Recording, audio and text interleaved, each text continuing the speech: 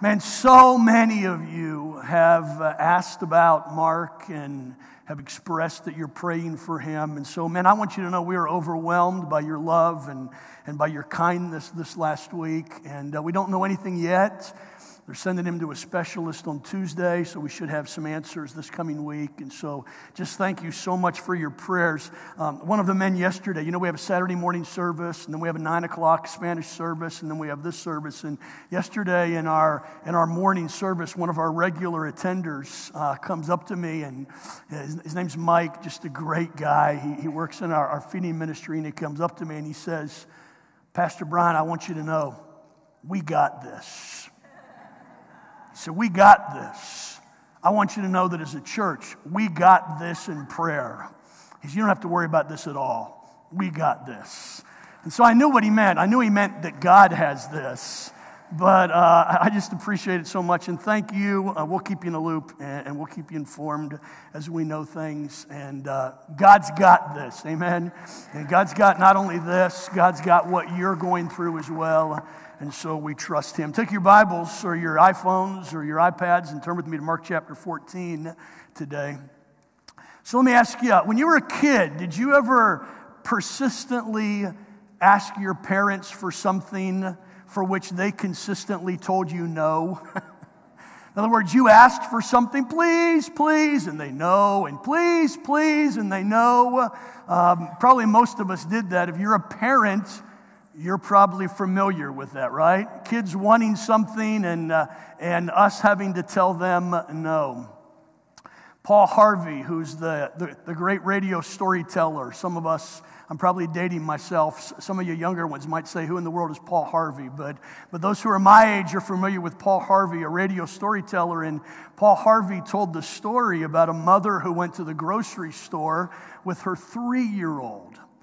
So, knowing her three year old, before she walks in the store, she looks at him and she says, Now, I'm going to tell you right now, we're not going to buy chocolate chip cookies.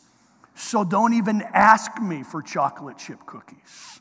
So, they go in the store and she picks up the three year old and she puts him in the cart and she begins to walk down the aisles. And after a few moments, they find themselves in the cookie aisle. And so the three year old says, Mommy, can I please have some chocolate chip cookies? And she looked at him and said, I told you before we walked in the store, we're not going to buy chocolate chip cookies. So they went on and, you know, walked through the store, you know, filled their cart up, and about 15 minutes later, walked back through the cookie aisle again. And the three year old says, Mommy, can I please have chocolate chip cookies? And mommy said, I told you beforehand, I'm not going to buy you chocolate chip cookies today. So they go on and so finish their shopping and get to the checkout place. And the three year old realizing that his last opportunity is fast approaching, he looks at his mom with all kinds of people around and yells out, In Jesus' name, may I please have chocolate chip cookies? And Paul Harvey says that mom didn't buy him chocolate chip cookies, but they walked out that day with 23 boxes of chocolate chip cookies that other people around them purchased for that three year old boy. All of us know what it's like to uh, ask for something and not get it. The passage that we're studying today, three times, we find Jesus making a specific request to his Father, making a specific, well known petition, saying, If it's possible, let this cup pass from me. And three times the Father answers him, not in the way that he asked, but the Father answers not with Jesus' human will, but with the Father's divine will. The passage that we're going to read in just a few moments is profoundly theological. But it's not only profoundly theological, it's deeply practical. The, the, the mystery of the struggle between the humanity and the deity of Jesus are clearly, is clearly seen in this passage. And so today, as we study this, I not only want you to see this from a, from a profound theological, deep, biblical truth point of view, but I want us to end in a very practical way. Seeing ourselves, it's interesting that Vicki led us in that song talking about being in the garden after Jesus' resurrection. Well, today I want to put each of us in the garden before Jesus' crucifixion. Because I submit to you today that every single one of us will have times in our life in which we will have a Garden of Gethsemane moments, A moment in which we will profoundly and passionately and deeply ask God to do something, expecting God to respond. So if you have your Bibles, we'll put it up on the screen. We're in Mark chapter 14 beginning in verse 32. I'll read 10 verses. You can follow along, read with me, whatever you want to do. Verse 32, Mark 14, 32. And they went to a place called Gethsemane. And he said to the 12, and, you know, sit here while I pray. And he took with him Peter, James, and John. We saw that just a couple of weeks ago. Remember, he took Peter, James, and John up to the Mount of Transfiguration. They were kind of like the, the, the, inner circle. And he took Peter, James, and John with him just a little further. And it says, And Jesus began to be greatly distressed and troubled. And he looks at the three of them and he says, My soul is very sorrowful, even unto death. Remain here and watch. In other words, he says, Hey, stay here and pray with me. And going a little farther, he fell on the ground and prayed that if it were possible, the hour might pass from him. And Jesus said, Abba, Father, what an intimate, an intimate term. Daddy, Abba, Father, all things are possible for you. God, you can do anything. Is there any way that, that, that we could find a different solution to this sin problem? All things are possible for you. Remove this cup from me. Theologians have debated for years what was in the cup, and we'll talk about that in just a few moments. But then Jesus says, Not what I will, but what you would you read that phrase with me? That's such a powerful phrase. Read that with me today. Yet not what I will, but what you will. Okay, that was about a third of you. Let's all read it together, okay? Yet not what I will, but what you will. So Jesus then comes back and he finds Peter, James, and John sleeping. And he says to Peter, Simon, are you asleep? Could, could you not watch with me one hour? And he makes this great statement that applies to us. It's so true. Watch and pray that you may not enter into temptation. The spirit is willing, but the flesh is weak. Can I get an amen to that? How many of us would say, Man, I have the best intentions sometimes, but my spirit is willing, but my flesh gives in. You ever, you ever fell asleep reading your Bible? Come on, I know you have, all right? You, you ever laid in bed and said, okay, I, I'm going to spend some time praying, and man, didn't find yourself, didn't take long, and you were sound asleep. That's what happened to the disciples. And so Jesus leaves them, and again he goes away, and this time he prayed the same words. And again he came and found them sleeping, for their eyes were heavy. And they didn't know what to answer him. I, I, mean, what would you say to Jesus if he asked you to pray and he walks away for a little bit of time and he comes back and, man, you're snoring logs. Man, you're just out. And he comes back and just kind of looks at you. I mean, I mean, what would you say? There's nothing to say. They, they didn't know what to answer him. And he came a third time. So he goes and prays, and the third time he comes back to them and says, Are you still sleeping? Take your rest. It's enough. The hour has come. The Son of Man is betrayed into the hand of sinners. Rise, let us be going. My betrayer is at hand. Would you pray with me today? Father, thank you so much for the example of Jesus. Father, thank you for allowing us to see, Lord, such an intimate conversation between God the Son and God the Father. And Father, I pray that we would not only see and understand and feel this theologically, but Lord, I pray that you'd help us to understand the truth of this in our own souls. Help us to understand the spiritual battle that was taking place, the spiritual battle here that ultimately accomplished our salvation.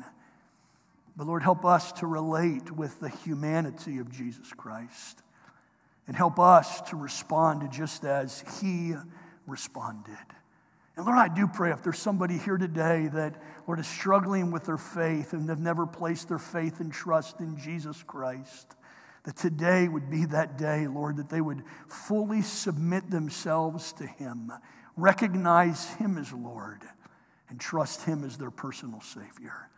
And Lord, for those of us who are struggling with the battles of life, Lord, I pray that you'd help us to respond like our supreme example Jesus Christ.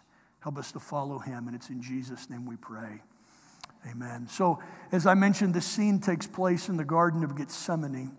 The Garden of Gethsemane, if you've been to Jerusalem, is just across the, the Kidron Valley. And so the, the city of Jerusalem is here, and there's a, there's a valley that's the Kidron Valley. And just across the Kidron Valley is the Mount of Olives. And on the slope of the Mount of Olives is the Garden of Gethsemane. And so the garden is, is some 200 yards or so from, from the walls of Jerusalem as, as these events transpire, it's probably Thursday of Passion Week.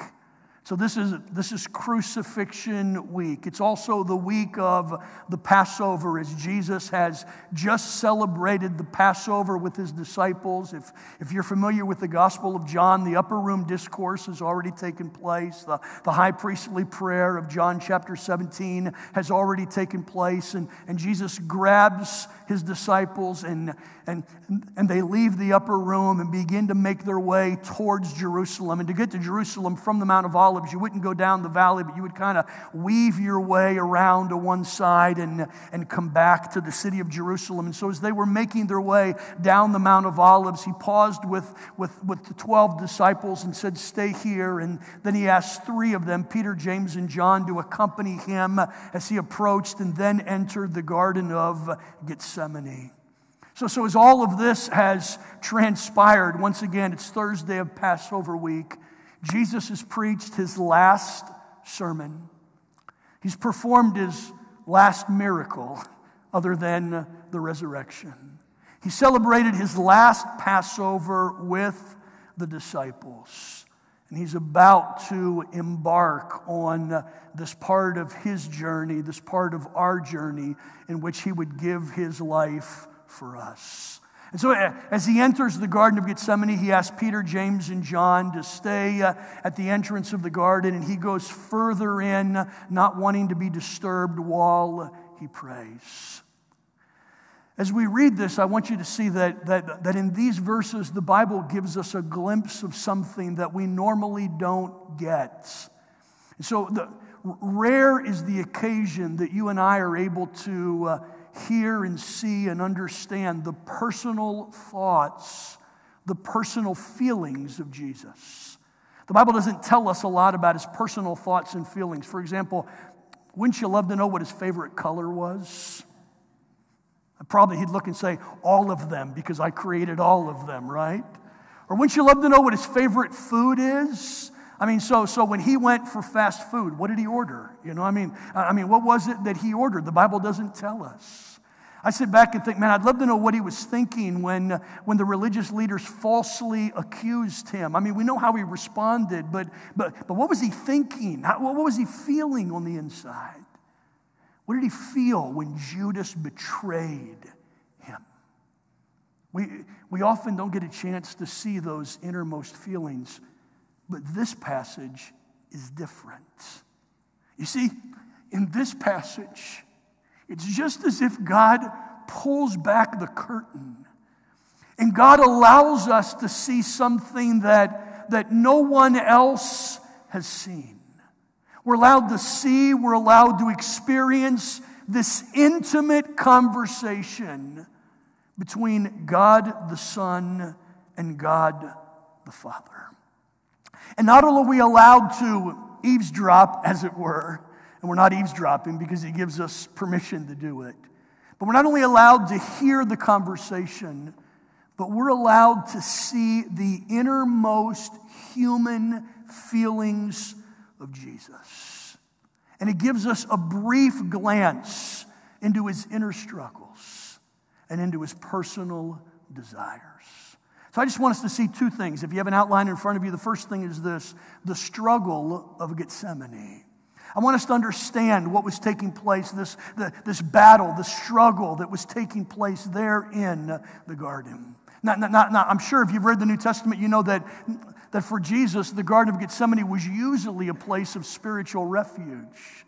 It, it, it, was just like this quiet place. If you go there today, it's like this serene, quiet place. And by the way, the Garden of Gethsemane is there today. Some of you were there uh, not long ago, and, and it's still this, this, this small little garden. They actually say that the trees there, some of them are either the trees that were there when Jesus was there, or they're the children of the trees that were there when Jesus was there. And so, how cool is it to be praying in this garden that somewhat today looks like what it looked like when Jesus was there.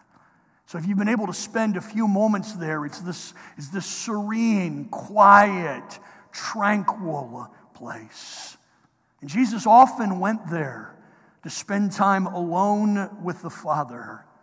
But, but on this day, Gethsemane was not a peaceful place. On this day, Jesus would not experience peace and tranquility and, and this, this joyous conversation. But as we read these verses, we see Jesus experiencing some of his darkest hours.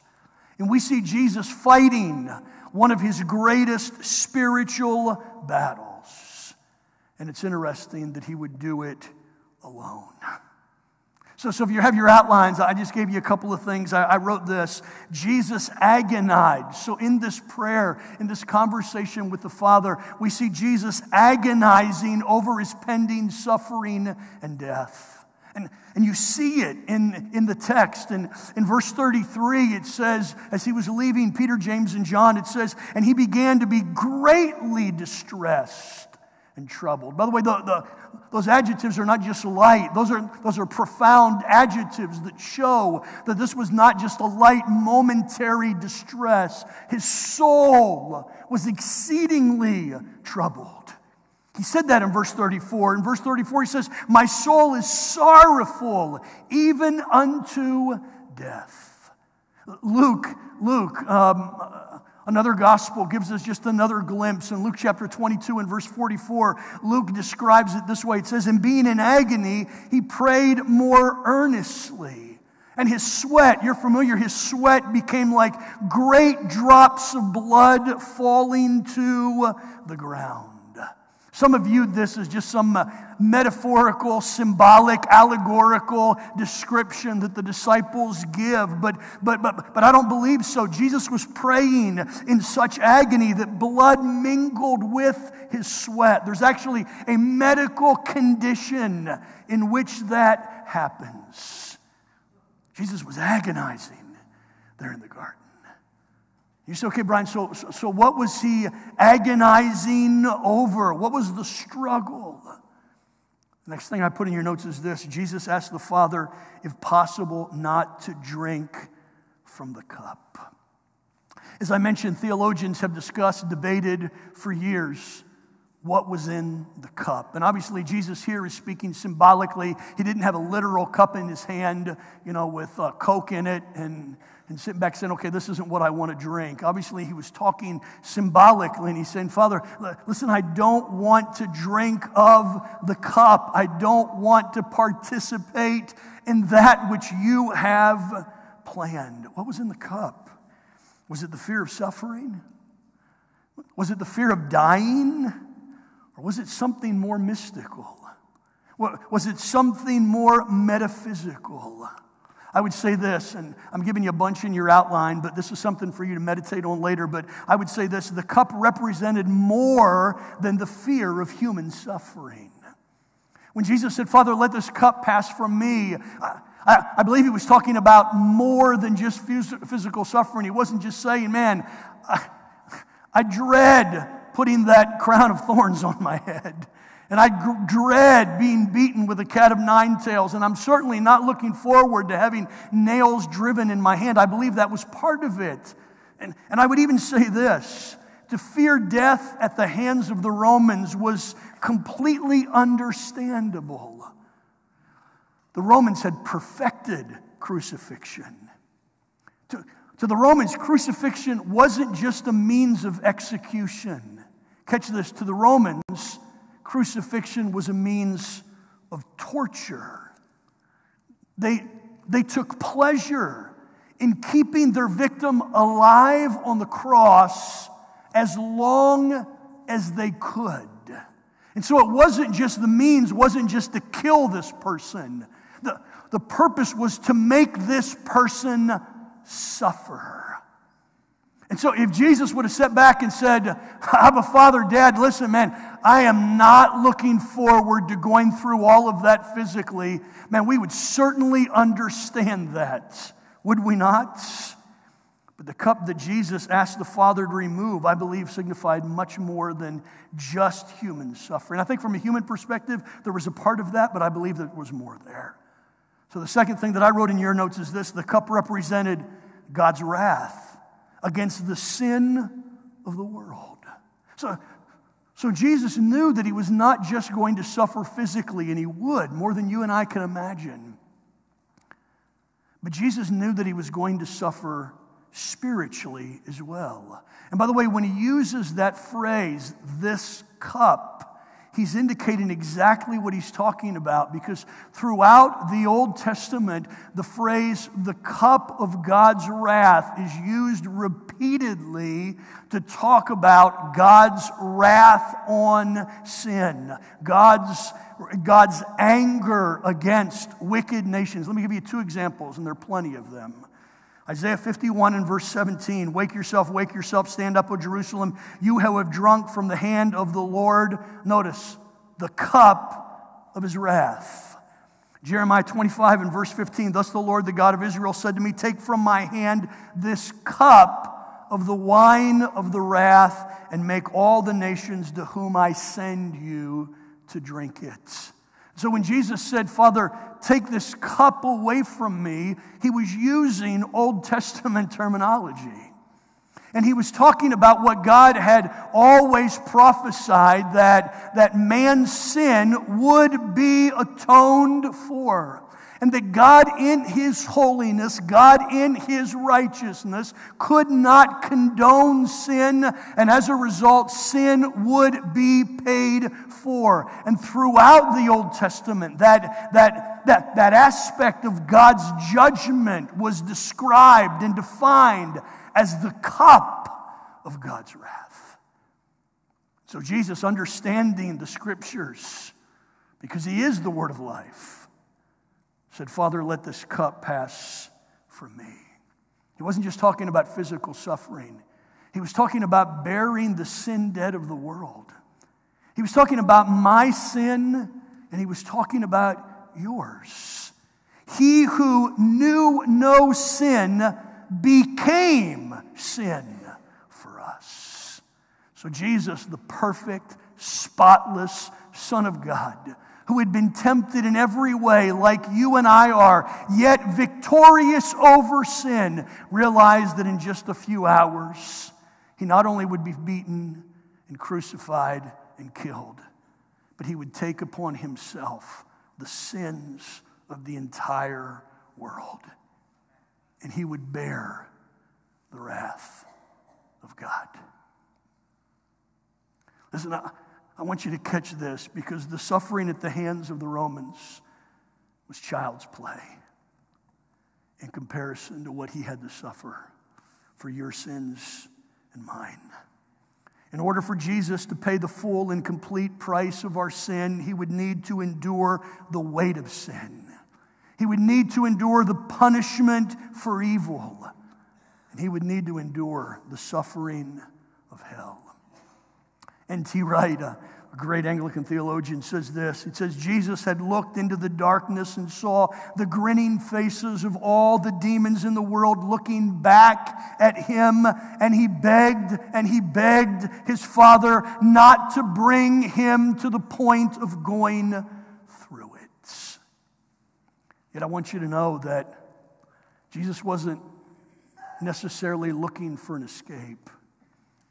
And he wasn't out of there no matter what took place.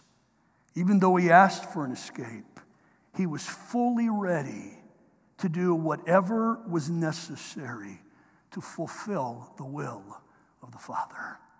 Because he prayed this in verse 36 Abba, Father, all things are possible for you. Remove this cup from me.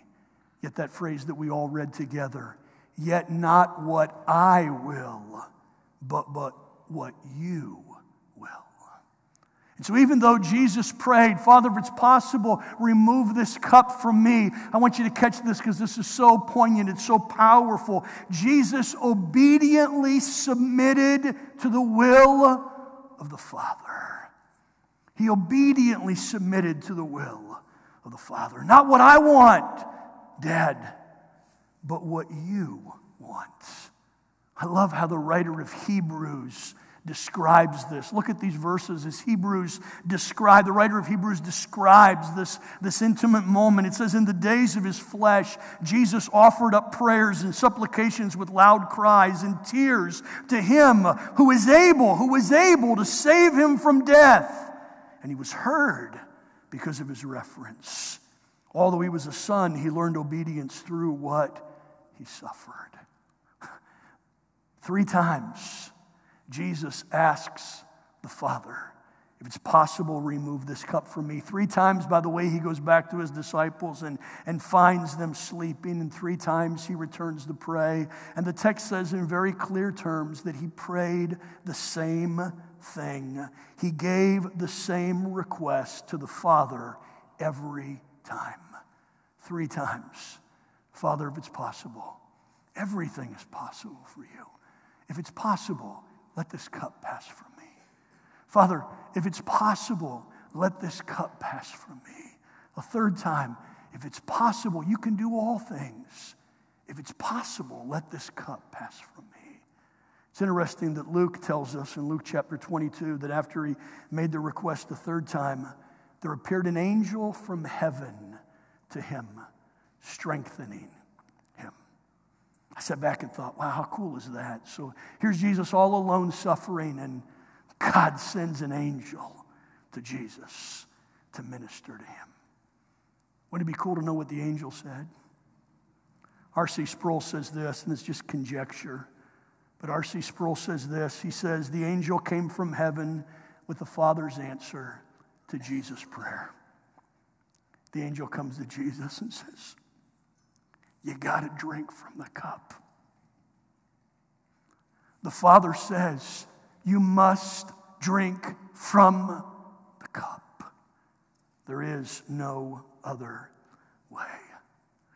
Church, catch this. This is so deep and profound, and, and, i know I've been into it all week long, and so uh, I kind of want you to get into it like I have, but, but, but, but I want you to catch what is taking place at that moment when, when Jesus says, Not what I will, but what you will, at that moment, the internal, the internal battle was over. Jesus gets up from his knees and his face is set towards Calvary. He gets up from his knees and he's resolute, he's convicted, he knows what he has to do. As a matter of fact, look at the end of the passage. He goes back and the disciples are sleeping and he says, Wake up, let's go. My betrayer's at hand. It's time to do what the Father has asked me to do. At that moment, at that moment, the battle was over. We never see him shaken or seemingly doubting again. He faces the humiliation, the trial, the mockery, the scourging, the crucifixion, all with a resolution and a calmness that was unshakable. Why is that? He knew it was the Father's will. And he was determined to fulfill the Father's will, whatever the cost. I think there's a victory that's won here in the Garden of Gethsemane. And by saying that, I certainly don't minimize what took place at Calvary because the devil, the enemy, sin, death were destroyed at Calvary and ultimately in the resurrection. But the enemy was defeated in Gethsemane. You see, the battle there at Gethsemane was won. And at that moment, when Jesus got up from his knees, the battle was over. Calvary was essential. The cross was essential. The tomb was essential. The resurrection was essential. But all of that now was inevitable. Jesus had won. The devil had lost. And in a sense, Gethsemane was D Day for our salvation. As Jesus stood up, he knew exactly what he had to do. And he was determined to do it. The struggles of Gethsemane. Isn't that deep? Isn't that profound? Doesn't that want to make you raise your voice and praise the Lord? Realizing that, that our sins, as deep and as profound and as, as awful as they are, were completely paid for by Jesus Christ. And He willingly, willingly took my sin and yours. And He willingly canceled that debt, canceled that condemnation that was placed over us from our sin. And He willingly took upon Himself what you and I deserved so that we might experience the freedom that we have today in Jesus Christ. And it all began in Gethsemane, the struggle of Gethsemane. But, but, but in just a few moments we have left, I want you to see that there's not just a theological battle that took place there, this, the, this battle between good and evil that took place there, and it most certainly did. But there are some lessons there that you and I can learn from Gethsemane. Because, because as I mentioned a few moments ago, you will have a Gethsemane moment in your life. I promise you, you will. You will have a Gethsemane moment in your life. How will you respond? Three lessons. Let me share them with you quickly. The first is this like Jesus, you will have nights of agony and despair. Like Jesus, you will have nights of agony and despair. Please catch this truth, church. Salvation does not free you from suffering. Oh, I wish to God, I wish I could look at you and say, man, place your faith and trust in Jesus Christ and you'll never have another problem. I wish I could look at you and say, you know what, man, become a follower of Christ and you'll never have to deal with sickness again. Become a follower of Christ, and you know what? There will always be money in your bank accounts. Always. Become a follower of Jesus Christ, men, and your wife will always think that you are the greatest thing in the world. Ladies, become a follower of Christ, and your husband is going to treat you like the queen that you deserve to be. I wish I could tell you that it's always going to be that way. But you know as well as I do that's not the case. Salvation does not free you and I from suffering. Like Jesus, you will experience agony. Like Jesus, you will experience despair. Like Jesus, you will experience pain. Like Jesus, you will experience suffering. So, Brian, how do you know that? Well, first of all, because I live it. Secondly, in my profession, I walk with people each and every day who are experiencing suffering. I was at a, a lunch meeting on Friday. Jose and I were there and get a text message. Donna sends a text message and says, Brian, this lady wants to talk to you. And I called, and this lady with a broken heart and a broken voice talked about the fact that she had a young adult son who attended our church, who loved HCC, struggled with some physical aspects. And just a week or so ago, he took his life. And as we talked on the phone, her heart was broken. She, she was in agony, she was in despair. I wish I could look at you and say, Man, you're never going to have moments like that, and I trust that you don't experience what she experienced. But I'm here to tell you that, like Jesus, you will have nights of agony and despair. say, Brian, how do you know it? Because the Bible talks about it. John 16 and verse 33, Jesus looks at the disciples and he says this In the world you will have tribulation. He doesn't say, listen, trust me and all of your problems will be gone. Listen, first century believers gave their lives for the gospel. He says, you will have tribulation. 1 Peter chapter 4 and verse 12, Peter says, Don't be surprised at the fiery trial when it comes upon you to test you as though something strange were happening to you. What is he saying? For the believer, persecution, trial, tribulation is a normal part of life. Now, let's just pause for a second and thank God that we live in a country for which we're not persecuted to be Christians. Amen? We can meet here today and we don't have to worry about the authorities shutting the door. We don't have to worry about followers of Jesus Christ being persecuted. We don't have to worry about pastors being arrested for simply preaching the truth. Thank God we have that freedom. let's not be confused into thinking that that's the way it is all around the world. Today, there are hundreds of Chinese pastors who are in prison for doing nothing more than I am doing this morning. There have been more martyrs in this century than all the previous centuries. We're fortunate. I don't know why God has blessed us so much. But Peter says this in the world you will, or Jesus said, you will have tribulation. Don't be surprised, says Peter, whenever trial comes. And Peter wrote to believers who were about to go through the Neronian persecution. Matt Chandler said this. I love this quote. He said, Comfort is the God of our generation. So suffering is seen like a problem to be solved rather than the providence or the plan of God. Let me show you a second truth. The second truth is this like Jesus, your path to victory is found in obedience to God's will. Your path to victory is found in obedience to God's will. Jesus prayed this. It's the title of our message Your will be done. Father, it's not what I want, but it's not about what I want, it's about what you want.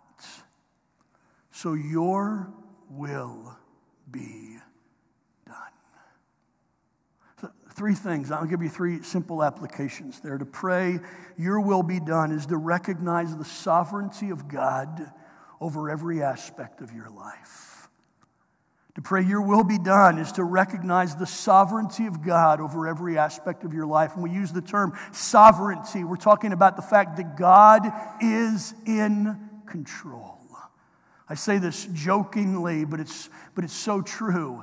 God has never said, oops. Nothing has ever happened in your life that God said, oh my word, how did that happen? I really didn't plan on that. How, how in the world did that happen? No. David says this the steps of a good man are established by God. God, God is sovereign when good things happen to us, and God is sovereign when bad things happen to us. Hey, you say, Brian, what does that mean? It simply means what Jonas led us, or, or Rachel led us not long ago. We recognize our God reigns. And our God is on the throne. No matter what happens in our life, our God is on the throne. And so to pray, God, your will be done, is a recognition of the fact that God is sovereign. He is in control. Whether things seem out of control or in control, God is in control. He is on the throne today. And that is a profound theological principle for us. We don't believe one day He is going to reign, we believe He is reigning today. And He is on the throne today. God is sovereign. You can take that to the bank if you got money in the bank or you don't have money in the bank. Now, I don't recommend you go to the bank and say, listen, there's no money in the bank, but God's on the throne, so, uh, so, so give me what's mine, all right? But no matter what's happened in your life and mine, God is sovereign. It, it, here's the thing, and it's so easy for us to believe in the sovereignty of God when everything's going right. Oh man, God's blessing me. I'm blessing me. God's sovereign. Praise the Lord. I, I, I, everything's going right. Listen, faith is the demonstration of your belief in God, not when everything's going well, but in the difficult moments of your life. When you don't understand what God is doing, when it doesn't make sense to you, to sit back and say, I trust in the sovereignty of God. Let me show you a second thing. To pray your will be done. To pray your will be done is to recognize that your will must be submitted to His will. It's to sit back and say, okay, God, you know what? Okay, here's the deal. I wanted to go right, but you want me to go left. God, I want to go forward, but you want me to go here. God, I want to do this, but God, you want me to do uh, that. And it's sitting back recognizing, okay, in order for me to experience the peace and the joy of God, I submit myself not to what I want, but to what God wants. Now, God, in His grace, at times, not only gives us what we need, but at times, He gives us what we want. But he doesn't always do that because sometimes our wants aren't for our benefit. We want something that's not going to help us. We want something that's going to hurt us. And so, God, I want this. And God says, No, I'm not going to give that to you because I love you. It's like your child waking up in the morning and saying, you know, as a prayer request, Mommy, I want ice cream for breakfast. You have the power to do it, but you know it's not in your child's best interest to do that. And so, you as a, a, a parent are going to answer their request not as they want, but what is beneficial to him or her. And God, in His sovereignty, knows what's best for you and I. And so, submitting to His will is sitting back saying, Okay, God, your plan is better than mine. God, I trust you. And I submit myself to your plan. You see, like Jesus, once you recognize that your struggle, your sickness, your loss is part of God's plan, then you can rest in His care. You can rest in His promises, realizing that His will is better than yours. Uh, let me get extremely, extremely personal. Uh, most of you know we have a 24 year old disabled daughter. Amber's profoundly disabled. For 24 years, we've prayed that God would heal Amber. I believe with all of my heart that God has the power to heal her. I prayed for it this morning. Yet God, in His sovereignty, has chosen not to do that. So my wife and I were at peace with that.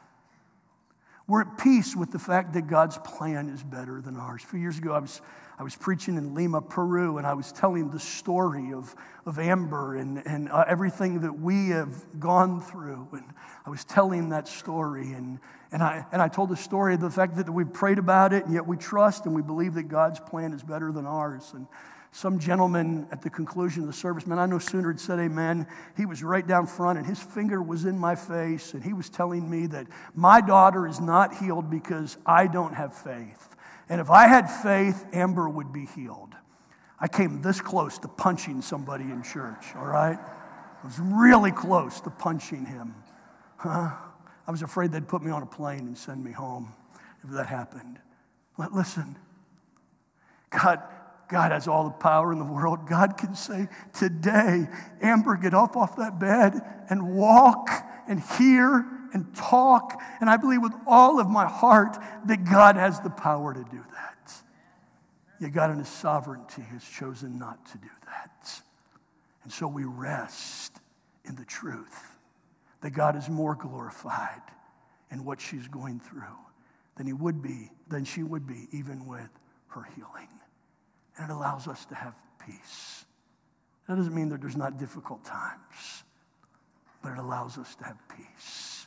So to pray, God, your will be done means that I submit my plan, my wants, my everything to His. Let me give you one other thing, and I got to be done. To pray your will be done is to realize that God will not spare you from trials and tribulations.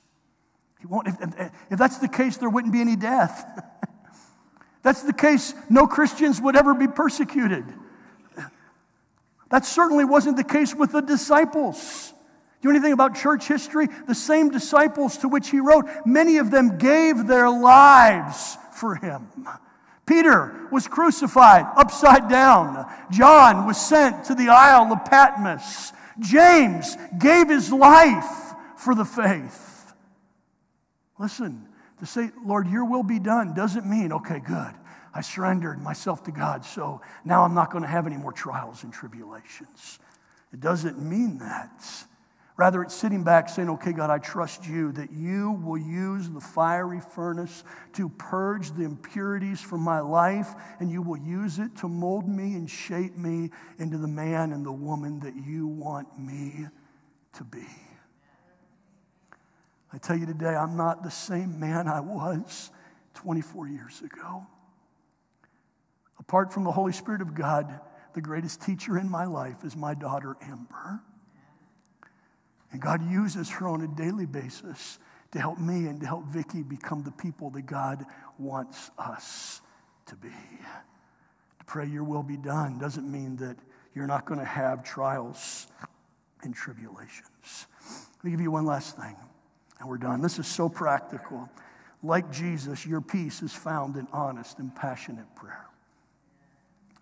Like Jesus, your peace is found in honest and passionate prayer. So, so I had a I had a theological debate going on in my mind this week, all right, as I prayed through this passage, actually, the last couple of weeks.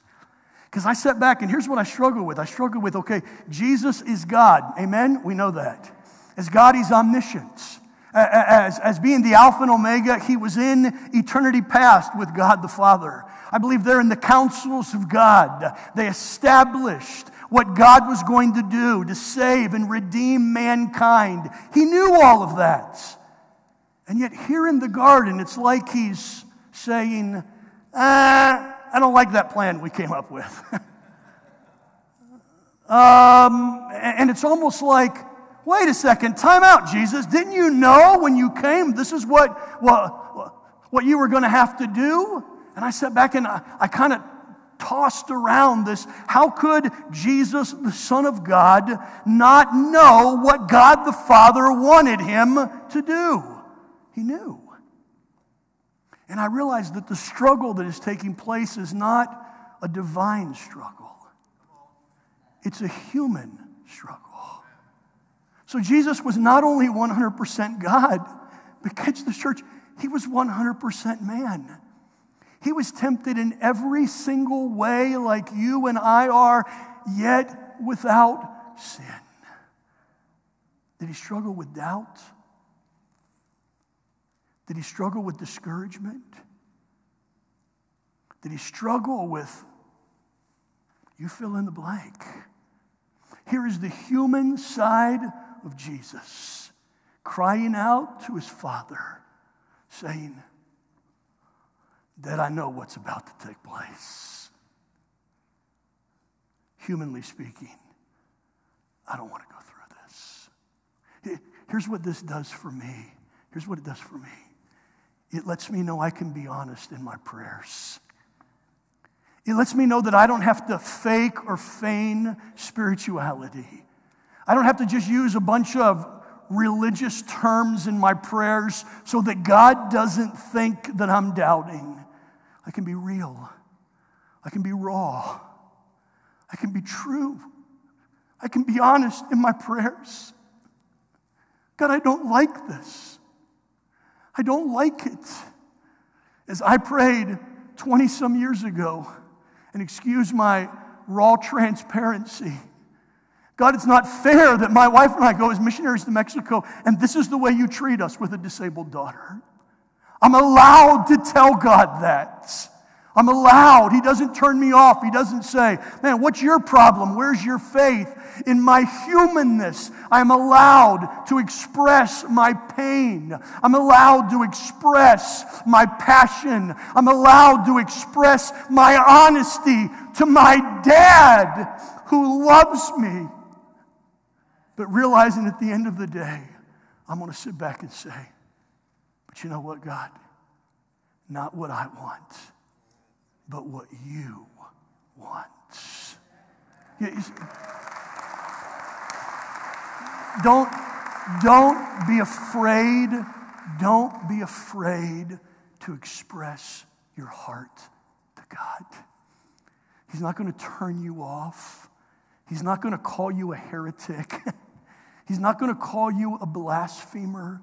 Just as those of us who are parents love having intimate conversations with our kids, even when they're struggling, your Heavenly Father loves you, cares for you, wants to know what you're going through.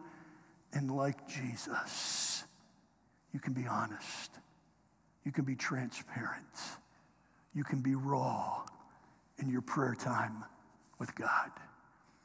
But ultimately, knowing ultimately submitting to the will of God in your life. I love the transparency of Jesus' prayer. He shows that we can be honest. We can transparently share our fears, share our struggles. We can tell him that with which we're battling. We can even ask him to change the plan. I don't like it. Change the plan. But in those moments of prayer is when our faith is strengthened. And when we're able to get up off our knees like Jesus, resolute and convicted, because we know what the will of the Father is. But listen, church, prayer is an, is a mighty instrument, not forgetting our will done in heaven prayer is a mighty instrument for getting God's will done here on earth. Jesus said, Not my will, but yours be done. Amen. Amen. Would you stand with me? Let's have a word of prayer. Jonas is coming. I have a couple more things to do, and so Jonas is coming. So let me, uh, let me encourage you today as, as Jonas and the team come. If you're here today and there's never been a moment in which you have placed your faith and trust in the finished work of Jesus Christ, and we're going to talk about this a lot in the next coming weeks, Jesus paid the debt for your sin. And Jesus desires for you to have an intimate relationship with the Father that is only possible through faith in Jesus Christ. So if you have never, by faith, reached out to Jesus and trusted Him and Him alone as your Lord and Savior, I'd encourage you to do that in your heart of hearts right now. Well, we'll have some of our leaders down front that would love to have a word of prayer with you if you'd love to pray with somebody. Maybe there's a battle going on in your heart today. God's done something in your life and you're mad at Him about it. It doesn't make sense to you. And today you just want to spend a few moments either here or an altar. Grab your spouse's hand where you are. Say, God, not my will, but your be done. Your will be done. Submit to the will of God. And I promise you, as you submit to the will of God, even in the midst of your pain, you'll experience joy that you've never experienced before. And God will give you peace that only comes from Him. Father, thank you so much for the truth of your word. Help us, Lord, to not only hear it, help us to take it and to respond to it. In Jesus' name we pray. Amen.